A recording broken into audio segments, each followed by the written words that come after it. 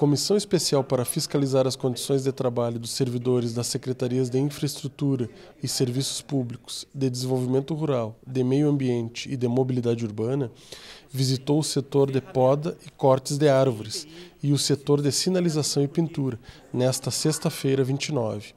No setor de poda e cortes de árvores, os funcionários públicos reclamaram da falta de equipamentos de proteção individual e de materiais, do sucateamento de veículos e da precária estrutura do prédio, principalmente da cozinha, onde os servidores fazem suas refeições.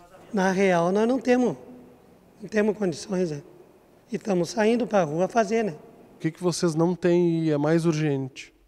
Ah, é botina, bota, né? Quer dizer, nós entramos dentro da, de, de arroio para pegar puxar alguma árvore que está caída ali, cortemos, tem que puxar, tem que entrar lá, uma bota de borracha adequada, uma capa de chuva.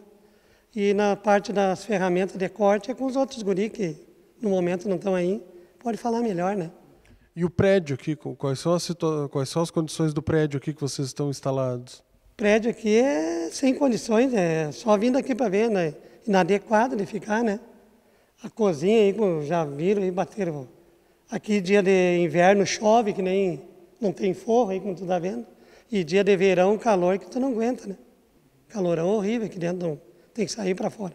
Conversamos com os funcionários, ouvimos atentamente as suas considerações, as suas colocações, mas nos preocupa muito a falta de responsabilidade da chefia, a falta de responsabilidade dos próprios secretários em relação às atuais condições da falta de IPIs, da falta de, de consideração e respeito com o servidor em relação aos equipamentos precários para realizar tais tarefas, a exemplo das motosserras, a exemplo do desgaste que tem as correias, são equipamentos de extrema necessidade, a exemplo dos cintos de segurança que estão hoje praticamente todos eles sucateados.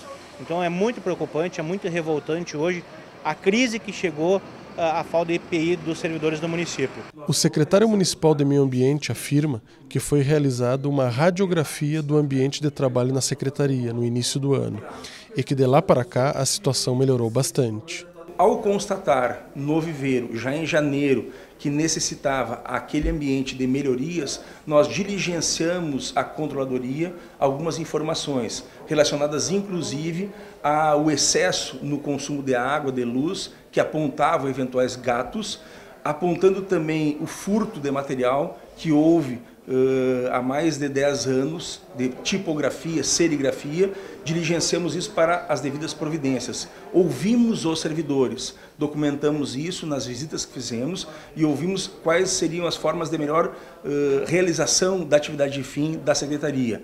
Nos apontaram no primeiro momento a ausência de cursos de capacitação, que nunca tinham tido realizamos três cursos de capacitação e mais recentemente nos chegou a informação de que estavam faltando alguns equipamentos, equipamento de proteção individual, que é a NR6. Preocupados com isso, diligenciamos a Secretaria de Gestão, que é responsável pela constatação uh, desta informação e pela elaboração de um termo de referência para aquisição deste equipamento. Nós estamos atentos para garantir as melhores condições daquele ambiente enquanto nós estivermos lá. Agora, nós temos que pensar o seguinte, investimentos volumosos, significativos, para uma gestão, para um município que já não tem recursos.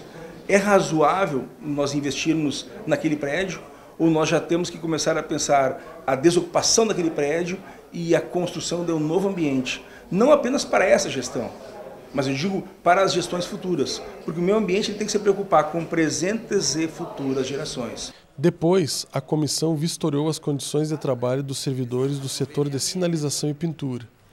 Apenas dois servidores estavam no local. Os outros estavam realizando a colocação de uma parada de ônibus na rua Riachuelo, no centro de Santa Maria. Então, a comissão foi ao local ver em que condições os servidores estavam realizando o serviço. Alguns problemas foram constatados no setor, mas os servidores não quiseram manifestarem-se sobre o assunto. Constatamos vários problemas, a exemplo da falta de máscaras para que os servidores possam é, realizar suas tarefas com total segurança, para que não possam estar é, num local totalmente inseguro, é, podendo até mesmo ocasionar acidentes de trabalho devido aos produtos inflamáveis.